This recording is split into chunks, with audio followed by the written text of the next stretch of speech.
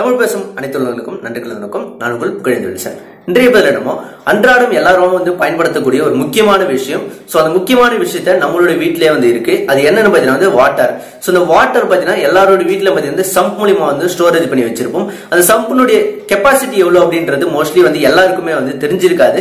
So including பாத்தீங்கன்னா வந்து எனக்கு கூட இந்த வீடியோ அப்லோட் முன்னாடி தெரியல. சோ இப்போ வந்து நான் வந்து தெரிஞ்சுக்கிட்டேன். சோ அதே மாதிரி நீங்களும் பாத்தீங்கன்னா வந்து இந்த பதிவுக்கு பிறகு பாத்தீங்கன்னா வந்து உங்களுடைய வாட்டர் டேங்க் வந்து எவ்வளவு கெப்பாசிட்டி சம்ப் வந்து எவ்வளவு கெப்பாசிட்டி வந்து பிடிக்கும் அப்படின்றத நீங்களும் வந்து தெரிஞ்சுக்க போறீங்க. மேலும் பாத்தீங்கன்னா நீங்க புதுசா வீடு கட்ட போறீங்க அப்படின்னா சப் கட்டுறதுக்கு பாத்தீங்கன்னா வந்து என்னென்ன மெத்தட் வந்து ஃபாலோ பண்ணணும். ஸோ ஒரு சிக்ஸ் டிப்ஸ் வந்து சொல்ல போறேன். ஸோ இந்த சிக்ஸ் டிப்ஸ் நீங்க ஃபாலோ பண்ணீங்க அப்படின்னா ஸோ ஒரு நல்ல கெப்பாசிட்டியான ஒரு வாட்டர் டேங்க் வந்து நீங்க வந்து கண்டிப்பா வந்து பில்ட் பண்ணலாம். ஸோ வாங்க இன்றைய பதிக்கு போகலாம். மனிதனுடைய வாழ்க்கையில மிகவும் முக்கியமான விஷயம் தண்ணி. ஸோ இந்த தண்ணீர் பஞ்சம் சில நேரங்கள் வந்து ஏற்படும். ஏன் இப்போ கூட பார்த்தீங்கன்னா நமக்கு தண்ணீர் பஞ்சம் இருக்கு. இந்த தண்ணீர் பஞ்ச காலங்களில் பார்த்தீங்கன்னா வந்து கார்பரேஷன் வாட்டர் வந்து நம்மளுக்கு வந்து வராது. ஸோ இந்த சமயங்களில் பார்த்தீங்கன்னா வந்து வெளியே தான் வந்து நம்ம வாட்டர் டேங்க் மூலிமா வந்து வாங்கிட்டு வந்து நம்மளுடைய சப்ல வந்து விட்டு நம்ம வந்து பயன்படுத்த வேண்டியிருக்கும். ஸோ அப்படி வெளியே வந்து வாங்கும்போது பார்த்தீங்கன்னா நம்மளுடைய வீட்டில் இருக்கக்கூடிய வாட்டர் டேங்கினுடைய கெப்பாசிட்டி எவ்வளோ நம்ம தெரிஞ்சாதான் நம்ம வந்து வெளியில இருந்து லிட்டர் வந்து தண்ணி வாங்கணும் அப்படின்றது நம்மளுக்கு யூஸ்ஃபுல்லாக இருக்கும். ஒருவேளை உங்களுடைய வீட்டில் இருக்கக்கூடிய சம்பினுடைய தொட்டியினுடைய ஸோ கெப்பாசிட்டி எவ்வளோன்னு தெரியல அப்படின்னா நீங்கள் வெளியில் வாங்கக்கூடிய தண்ணியினுடைய அளவு அதிகமாகிடுச்சு அப்படின்னா கண்டிப்பாக உங்களுக்கு வேஸ்டேஜ் ஆகிடும் இல்லை நீங்கள் வந்து அதனுடைய சம்பினுடைய கெப்பாசிட்டி வந்து குறைவாக வாங்கிட்டீங்க அப்படின்னா ஸோ உங்களுக்கு தேவையும் இன்னும் அதிகமாகிடும் ஸோ அதனால் சரியான அளவு நீங்கள் வாங்கணும் அப்படின்னா உங்களுடைய வீட்டில் இருக்கக்கூடிய வாட்டர் டேங்கினுடைய கெப்பாசிட்டி நீங்கள் வந்து கண்டிப்பாக தெரிஞ்சுக்கணும்.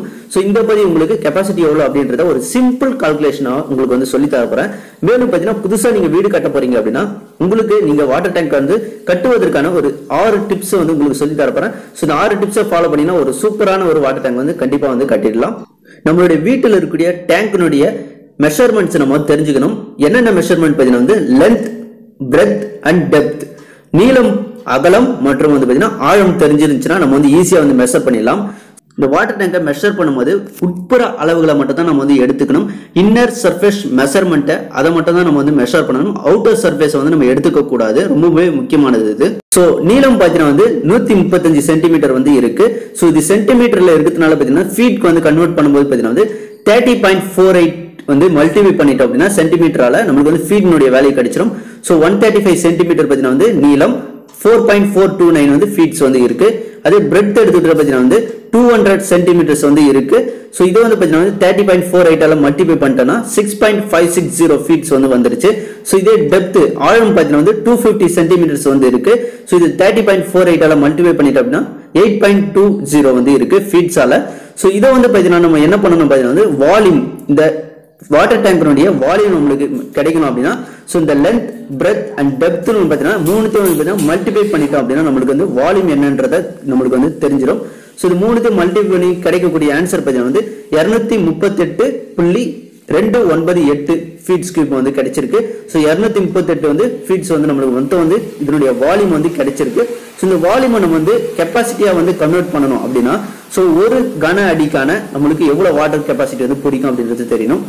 ஸோ ஒன் கியூபிக் ஃபீட்ல பார்த்தீங்கன்னா வந்து எவ்வளோ வாட்டர் வந்து கெப்பாசிட்டி பிடிக்கும் அப்படின்னா ஒன் கியூபிக் ஃபீட் அப்படின்னா பார்த்தீங்கன்னா வந்து இப்போ எக்ஸாம்பிள் பார்த்தீங்கன்னா கலர் கியூப்ஸ் இருக்கும். ஸோ எல்லாரும் கலர் கியூப்ஸ் வந்து பார்த்துருப்பீங்க விளையாடக்கூடிய கலர் கியூப்ஸ் ஸோ அது எக்ஸாம்பிளாக இருக்குன்னா அதனுடைய நீளம் அகலம் மற்றும் ஆழம் எல்லாமே பார்த்தீங்கன்னா வந்து சேமாக தான் இருக்கும். ஸோ அதே மாதிரி தான் ஒரு மீட்டர் உள்ள நீளம் ஒரு மீட்டர் உள்ள அகல ஆழம் ஒரு மீட்டர் உள்ள அகலம். ஸோ இந்த லென்த்து ஒரு மீட்டர் குடித்த அளவுல எவ்வளவு லிட்டர் வந்து நம்ம தண்ணி ஊத்தி வைக்க முடியுமோ அப்படின்னு பாத்தீங்கன்னா இருபத்தெட்டு புள்ளி மூணு ஒன்னு லிட்டர் வந்து ஊத்தி வைக்கலாம். சோ அதுதான் வந்து ஒன் கியூபிக் ஃபீட் அப்படின்னு சொல்லலாம். ஸோ இது ஒன் கியூபிக் ஃபீட்ல பாத்தீங்கன்னா இருபத்தெட்டு புள்ளி மூணு ஒன்னு லிட்டர்ஸ் வந்து நம்மளுக்கு வந்து கெப்பாசிட்டி பிடிக்கும். அப்போ இதனுடைய நம்மளுடைய வாட்டர் டேங்க் பாத்தீங்கன்னா வந்து மொத்தம் பாத்தீங்கன்னா வந்து கனவு எவ்வளோனா இருநூத்தி முப்பத்தெட்டு புள்ளி ரெண்டு ஒன்பது எட்டு வந்து நம்மளுக்கு கிடைச்சிருக்கு. இந்த வாட்டர் டேங்கினுடைய மொத்த கன அளவு எவ்வளவு அப்படின்னு பாத்தீங்கன்னா வந்து இருநூத்தி முப்பத்தெட்டு புள்ளி ரெண்டு ஒன்பது எட்டு.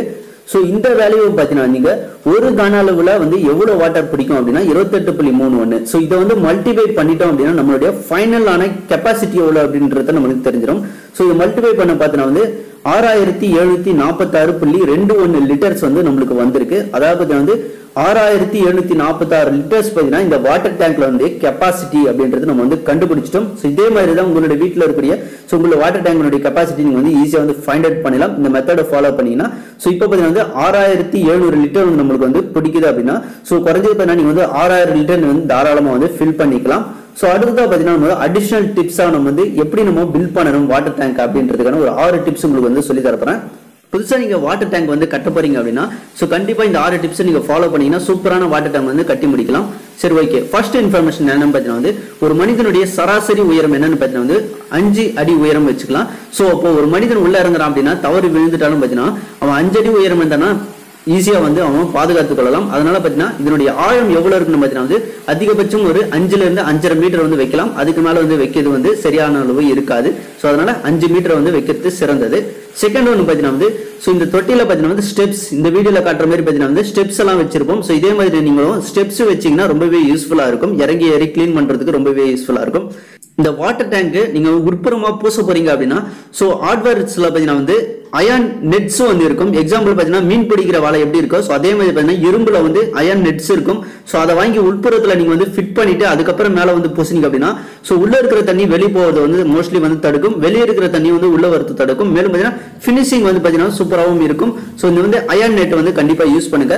இந்த வாட்டர் டேங்கருடைய டோர் பார்த்தீங்கன்னா வந்து எஸ்எஸ் அலாம் யூஸ் பண்ண டோர் யூஸ் பண்ணும். அதாவது ஸ்டெயின்லெஸ் ஸ்டீல் ஆலான டோர் யூஸ் பண்ணீங்கன்னா மழைனாலும் வெயில்னாலும் வந்து துருப்பிடிக்காம இருக்க கண்டிப்பாக வந்து யூஸ்ஃபுல்லாக இருக்கும்.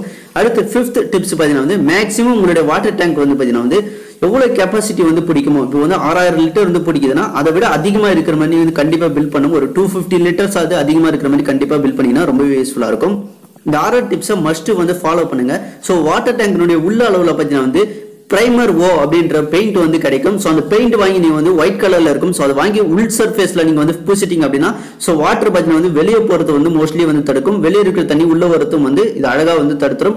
மேலும் உள்புல பார்த்தீங்கன்னா ஒயிட் கலர் ஃபினிஷிங் இருக்கிறதுனால உள்ளே எது விழுந்தாலும் ஸோ உங்களுக்கு வந்து கிளியராக வந்து இரு காட்டும். ஸோ அதனால் பார்த்தீங்கன்னா இந்த ஓ பெயிண்ட்டை வந்து வாங்கி நீங்கள் அடிக்கிறது ரொம்பவே சிறந்தது அப்படின்னு சொல்லலாம். ஸோ இந்த ஆறு டிப்ஸும் பயன்படுறதா இருந்துச்சுன்னா கண்டிப்பாக இந்த பதிவை லைக் பண்ணுங்கள் நன்றி. மீண்டும் அடுத்த பதிவு சந்திப்போம்.